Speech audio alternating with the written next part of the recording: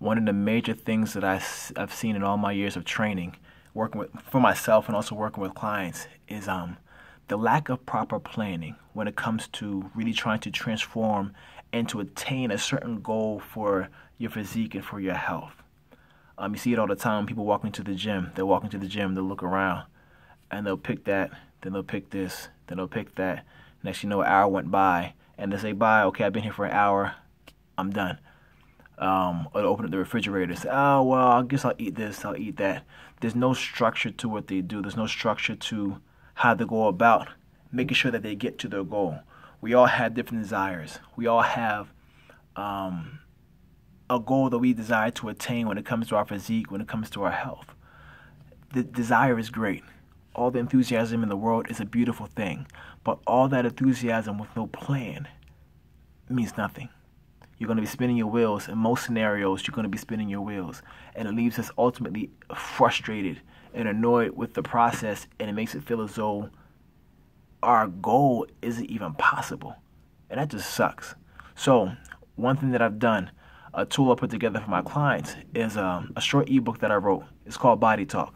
You can actually get it for free right now on Kindle. It's on iBooks. It's on Nook, and um, I actually will put the link in the comment section of this video. And the purpose of it basically is to help create a frame of reference in regards to what I believe to be some of the core principles that you need to understand about your body so that you can communicate the right message to your body and you can start working in conjunction with it so that you can start to really help direct your body in the direction you want it to go. You need to have a plan. But any old plan won't do. You want to work within the conjunct within the confines of some simple science, nothing fancy, nothing too deep, but understanding the significance the significance of your macros, understanding the significance of the food and, and the role that it plays. Um, eating patterns, proper hydration, getting enough sleep.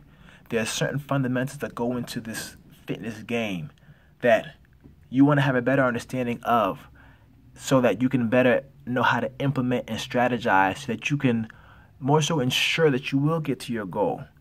It's a, it's a beautiful thing when it's not a matter of if you will reach your goal, but more so a matter of when. That's a good day. That's a good feeling to have to know that you will be getting there if you continue on your on your path you set up for yourself um, 10 weeks from now two months from now, whatever it may be. So, check out the book. Help set up that frame of reference for yourself so that you can have a better understanding and awareness as to the pieces in this puzzle that either may be helping you or hurting you right now. So, if you want to know more, check it out. Check out the comment section, and you'll be able to find the books. All right, take care. God bless. Love you.